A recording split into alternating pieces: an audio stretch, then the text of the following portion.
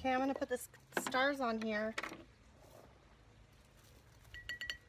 And I'm juicing up my my fan brush so that it can sprinkle the paint on with my palette knife.